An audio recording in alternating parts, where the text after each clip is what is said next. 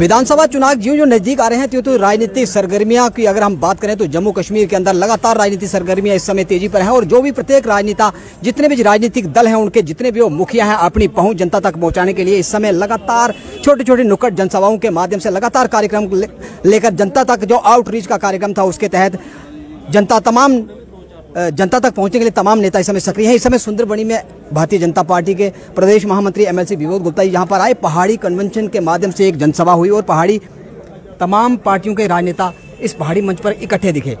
आज इस पहाड़ी कन्वेंशन के माध्यम से क्या संदेश राजौरी पुंछ की जनता को आप दे रहे हैं? देखिए, ये पहाड़ी कन्वेंशन हमारी पुंछ में भी हुई, सुरनकोट में भी हुई, कालाकोट में भी हुई, दरहाल में भी हुई, आज सुंदरबनी में हुई है। इसका कोई विशेष कारण नहीं था। यही था कि भाई, माननीय प्रधानमंत्री नरेंद्र भाई मोदी जी ने लाल किले से बोला था कि मुझे पहाड़ी बहनों और भाइयों की चिंता है। हम उनकी चिंता दूर करेंगे। और जब इस बार पाँच अगस्त बीस उन्नीस के बाद पहली बार माननीय अमित शाह जी जम्मू में आए, उन्होंने दोहराया और कहा कि मेरे सामने जो पहाड़ी ट्राइब के लोग जो हैं, बैठे हुए छः बार बात की। फिर उसके बाद उन्होंने ये भी कहा कि अगला चीफ मिनिस्टर पहाड़ी होगा।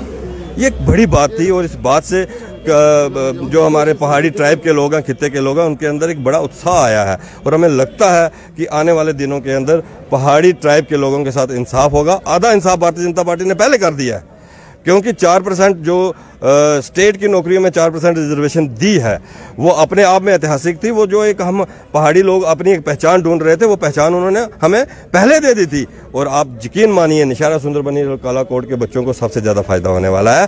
क्योंकि जब अभी चार परसेंट रिजर्वेशन के बाद आप देखिए, जितनी भी नौकरियाँ निकली हैं, उनमें सौ से ज़्यादा बच्चा जो निशारा सुंदरबनी और कालाकोट का पहाड़ी सर्टिफिकेट बनाकर जो है, वो नौकरी लगी। आप आप समझें कि अगर जब एसटी स्टेटस मिलेगा पहाड़ियों को तो सुंदरबनी को वैसे भी मिनी केरला कहा जाता है। तो विभो जी जब हम जम्मू कश्मीर के इतिहास की अगर हम बात करें तो जब जब विधानसभा चुनाव नज़दीक आते हैं तभी पहाड़ियों की याद प्रत्येक सरकार को आती है। क्या ये जो आज जो भारतीय जनता पार्टी को जम्मू कश्मीर की अगर राजौरी पुंछ की अगर बात करें तो क्या ये चुनावों की तारीखें नज़दीक आ रही है तब भारतीय जनता पार्टी को यहाँ के जो पहाड़ी लोग हैं उनकी याद आई? अथवा ये सिर्फ़ एक चुनावी जुमला है और सिर्फ़ और मात्र वोट इकट्ठा करने के लिए ये जनसभा हो रही है? आपने बिल्कुल ठीक कहा कि जितनी पोलिटिकल पार्टीज़ रही उन्होंने इसको चुनावी जुमला बना के रखा।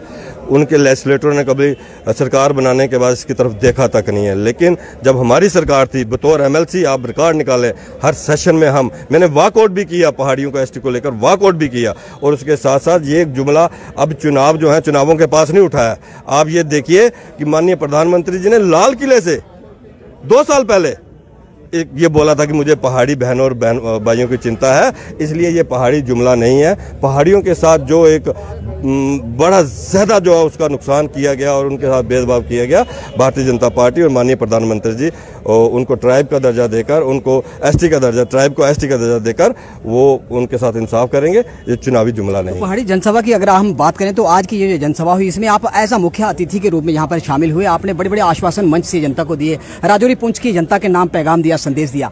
क्या आपको लगता है कि चुनावों से पहले जनता को ये तोहफा मिलेगा? मुझे तो लगता है मुझे तो लगता है आज कार्यकर्ता क्योंकि देना केंद्र सरकार ने माननीय प्रधानमंत्री जी ने माननीय अमित शाह जी ने देना है। लेकिन जिस ढंग से इस बार रैली के अंदर उन्होंने संबोधन में छः बार पहाड़ी ट्राइब के लोगों को नाम लिया और कहा कि अगला चीफ मिनिस्टर जो है वो पहाड़ी होगा ये बड़ी बात थी और जहाँ से लगता है कि आपकी सरकार ये जो स्टेटस है पहाड़ी स्टेटस राजौरी पुंछ की जनता को देती है तो आपको क्या लगता है कि ये जो राजौरी पुंछ की जितने भी जो तमाम विधानसभा के जो सीट हैं वहाँ से आपको क्या इस स्टेटस का जो आप स्टेटस जनता को तोहफे के रूप में देंगे क्या आपको ये वोट बैंक के रूप में वापस आपके पास आएगा? आप देखिए मैं इसके ऊपर एक बात आपको बताता हूँ।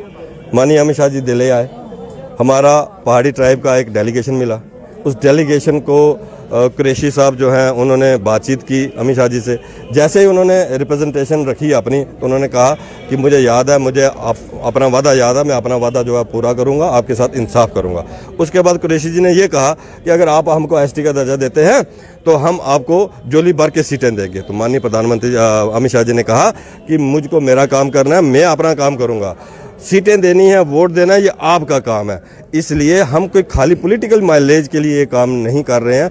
पहाड़ियों के साथ भेदभाव हुआ है।